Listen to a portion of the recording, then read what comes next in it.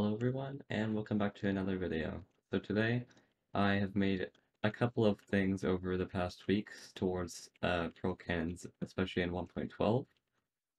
Uh, so it's mainly these three, three, sorry, these three things that I was recently working on, uh, and I thought I should just publish them all in one video because it didn't really make sense to do them in separate ones. Uh, over there with just me designing by the way. Okay, so what are these? Uh, these two are pearl aligners, and this one is a brand new selector panel. I'm going to get into this in a second. Uh, but basically, what I can do is I can do log projectiles. I'm also going to put blocks up at the top here so that the pro can collide. It doesn't fall back down. And you'll see why I do that after. So I can throw in the pearl. Uh, in this one, it gets bounced up uh, twice by this piston. Then the last ones, and then this one. Also, I forgot to...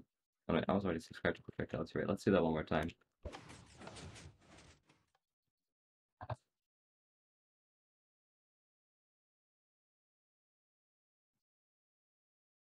Okay, so there we go. Uh, so there was the first one, uh, and now let's go check out the second one. Here's the second one, and here you can see that it only bounces once and it bounces directly onto this line. This one's a little bit faster. Nice for return cannons. Anyways, you'll notice that one thing that they have in common is this number, so it's 0.3488178536, so on and so forth. This is a really nice number, and I'm going to explain why when the pearl comes here, it is at almost the perfect uh, height, and it's not at the perfect, I can tell you that from proof, uh, which I'll go over later. Uh, but it's pretty much almost at the perfect acceleration to only go slightly up, but also have almost no uh, upward acceleration from the TNT that would be in these corners. So each corner here, uh, if you're doing this for like a, a 420 FTL or any kind of FTL really, uh, if you line the TNT in the corners using the fences, uh, it'll still work out properly.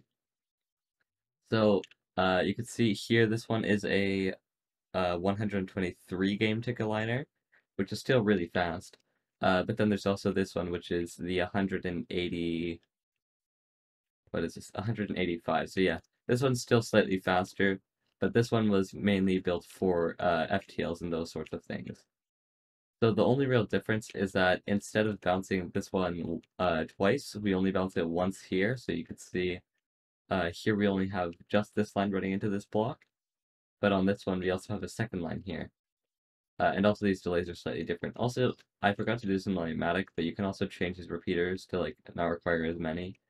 Like for instance, you can uh, say take that more and then take out one repeater or something.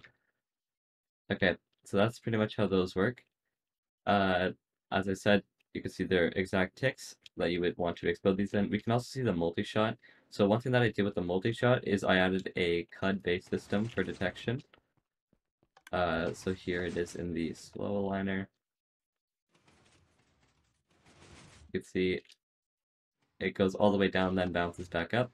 That's just the best way that I found to do it with that type of multi-shot. And there you go. It collides with the block, and it has that exact same height. Uh, I'm not even going to do this one because it does the exact same thing. Uh, so here we have a bunch of systems that are basically implemented for a, an actual FTL. So here there's like the locking system to lock the player in place. For instance, on return cannons, you probably wouldn't even need that. Uh, but there's some other small things like, what is there? There's also this wire, so this is the chunk loading wire. Uh, currently this isn't pushing it to the ground because, yeah. Also, this one needs a redstone block. Okay.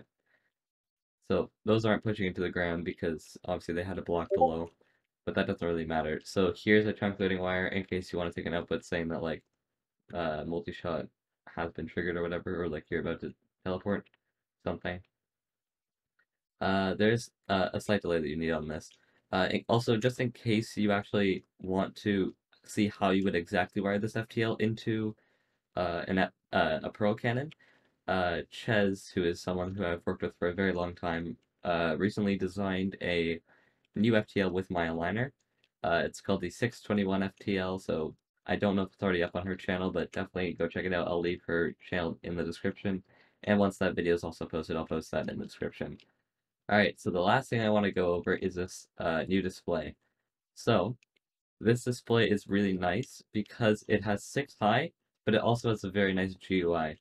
So, we're using Trapdoor GUI in order to... Oh wait, what happened here?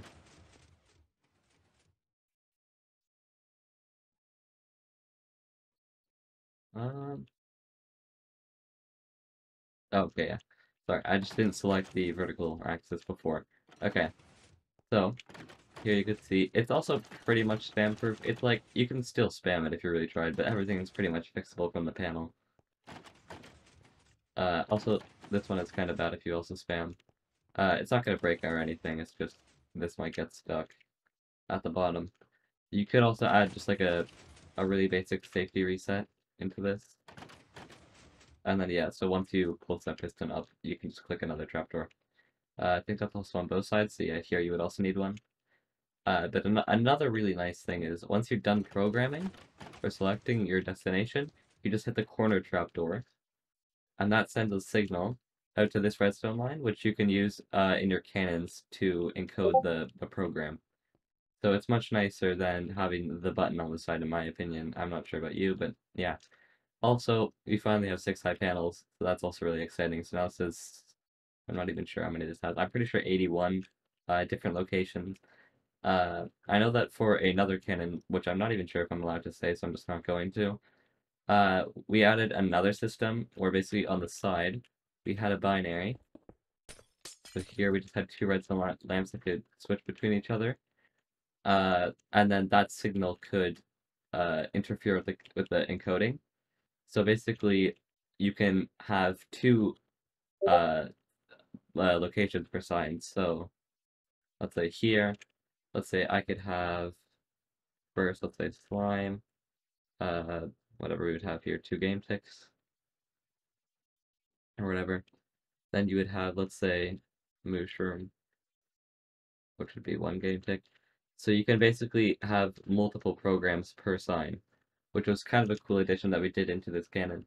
Uh, so basically, if if it's on the first program, it would choose the top program. So in this case, slime. If it if, if it was on the second program, then it would choose a mushroom. Uh, and that was basically a factor of doubling the uh, selector size, which was really nice. Uh, but other than that, that's pretty much it with this. Uh, in case you're wondering, we can't actually replace this with a dust here, and then just another redstone block to make it more compact. Uh, and that's because the dust would be redirected, and we're using the redirection to power these for long enough. Uh, other than that, though, it's a pretty much straightforward selector panel, and also the aligners are also really nice. I'm not even sure if these signs, by the way, say uh, single shot or multi-shot, but just remember that the sign on the left is always a single shot, and the sign on the right will always be multi-shot. That's all that you really need to know. Uh, but yeah, so thank you guys so much for watching. I've put a lot of time into these aligners. In case you've ever been in VC with me while I was trying to make one, uh, you would know that as I was desperately trying to figure out how to get this pearl height. uh, but yeah, so thank you guys so much for watching once again. Uh, and yeah, thanks. Bye.